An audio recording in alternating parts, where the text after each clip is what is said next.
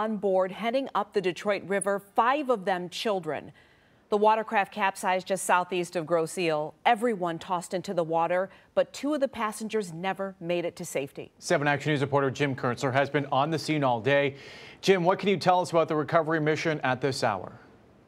And the search continues here offshore. Take a look. They're about a quarter of a mile out, maybe a half mile out. They've been searching this general area. You see the boats with the flashing blue lights. Police tell me this is about 8 to 10 feet deep of water. They're using sonar. Take a look closer to shore. You see this great boat, gray boathouse. That's owned by the owner of the cabin cruiser, Rob Childs.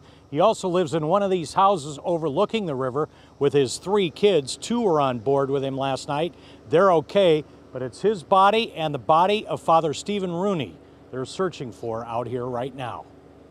This morning I was sitting on my couch watching the news and I heard them say Father Stephen Rooney from Trenton and I was devastated. This is Father Rooney, who was installed as the new pastor of St. Joseph's Catholic Church in Trenton just two years ago. His reach to all people extended well beyond his church. He always wanted to convert me into being a Catholic. but he said I was okay. Grosse police started searching for the two missing boaters last night after the crash. These are pictures of the recovery of the 40 foot cabin cruiser. Witnesses tell police it was going fast northbound in the Detroit River when it swerved, may have hit something, or even hit a submerged rock ledge. 14 people were on board, nine adults and five children. Police say one had a broken arm, another had head injuries, but all of the 12 injured have been released from hospitals. The recovery search includes the owner of the boat, Rob Childs, who was president of Alta Equipment.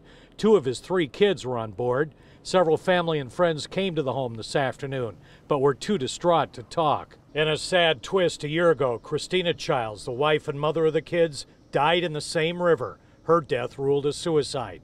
Last night, police say during the pleasure trip, speed was a factor. One witness has informed us that the boat may have rolled at least once and, and caused all of the passengers to be ejected from the boat. Police tell me this search and recovery will continue until about sundown tonight, which will be around 8.30, 9 o'clock tonight. Live on Grosse Ile, Jim Kiertzner, 7 Action News. Tough story this Monday afternoon, Jim. Thank you.